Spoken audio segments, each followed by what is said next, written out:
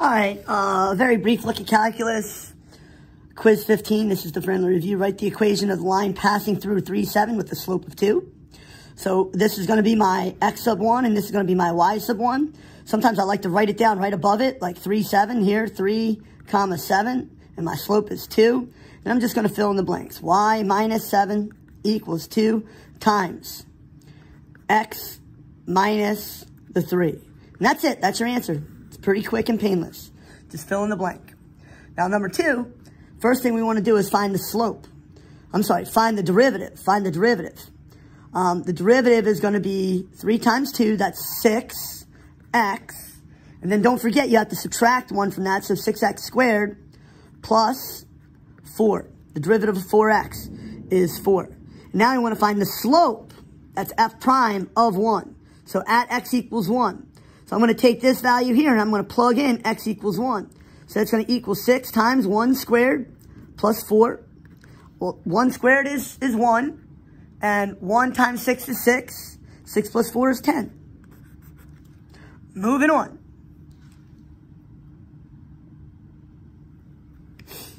Find the equation of the tangent line at 1, 6 in point slope form. Point slope form, not slope intercept form. Um, so I have to take this here coordinate for C, which is 1, 6. I'm going to write it down here, 1, comma 6. And I know my slope is now 10, so it's just going to be y minus 6 equals 10 times x minus 1. That's it. You just want to plug it in. Just want to plug it in.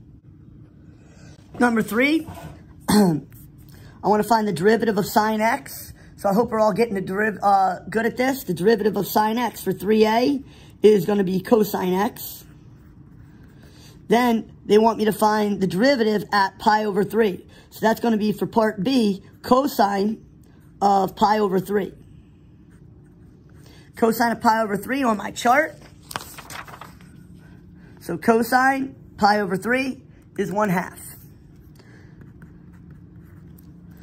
Part B, write the equation in point slope form. So that's a little involved. It's a little involved, yeah. Um, so we have the point, pi over 3, comma, root 3 over 2. And we have our slope equals 1 half. So you just plug it into the formula. So y minus root 3 over 2 equals 1 half times x minus pi over 3. And that's some calculus there. So that's 3C. 3C is my answer. Number four, we can use the calculator for it. So you want to turn it on. You're going to hit this button right here. Then you're going to type in 6, alpha red x. Hit the x squared button. Down arrow from 0, up arrow to 2. Hit equals. And it kicks out the answer pretty quickly, 16.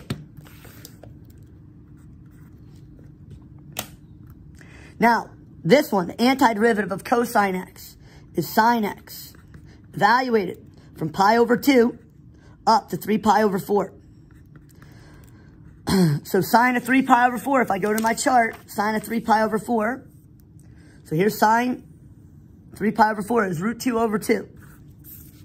So this is going to equal root 2 over 2. Sine of pi over 2. Sine of pi over 2 on my chart. Sine pi over 2 is 1. So here comes my calculus. My answer is going to be root 2 over 2 minus 1. Calculus is getting a little bit more involved. Antiderivative, negative cosecant cotangent is just cosecant. So now I have to evaluate cosecant x from pi over 6 up to pi over 4. So cosecant of pi over 4, I believe, is going to be 2. Let me see here. Cosecant pi over 4. Oop, I was wrong. It's root 2. Cosecant pi over 4 is root 2.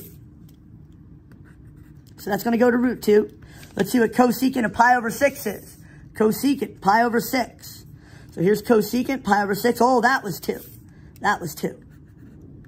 So your answer, the calculus is going to be root 2 minus 2. And that's your answer.